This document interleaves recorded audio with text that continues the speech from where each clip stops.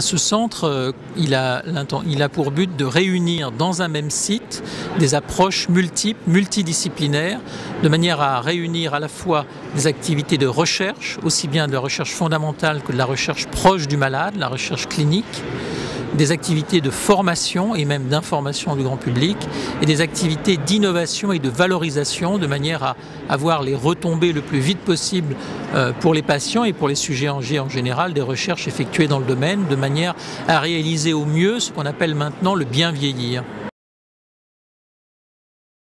Ce centre aura essentiellement un projet autour du vieillissement du cerveau. Vous savez que le, déclin, la perte des fonctions cognitives, c'est un élément majeur de, perte d'autonomie et donc d'entrer dans la dépendance qu'il faut absolument éviter. Et donc il va se passer des recherches centrées sur euh, les mécanismes qui sous-tendent le déclin des fonctions cognitives au cours du vieillissement chez chacun d'entre nous et encore plus chez les sujets porteurs de maladies d'Alzheimer. Mais ces études se feront sur des modèles animaux ad hoc pour euh, euh, étudier ces problèmes.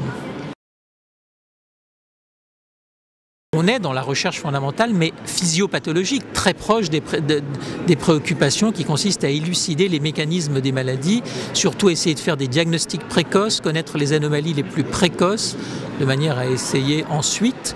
de faire des traitements. Et d'ailleurs, nous utiliserons aussi ces modèles animaux pour essayer de valider, en collaboration avec d'autres équipes, euh, par exemple de l'hôpital Saint-Antoine, des stratégies très prometteuses comme celle de la vaccination dans la maladie d'Alzheimer. Il faut être lucide, il faut souvent plusieurs années, de nombreuses années, pour réaliser d'une manière réussie ce qu'on appelle maintenant la recherche translationnelle, ou d'une manière peut-être plus parlante, de la paillasse c'est-à-dire du laboratoire, jusqu'au lit du malade.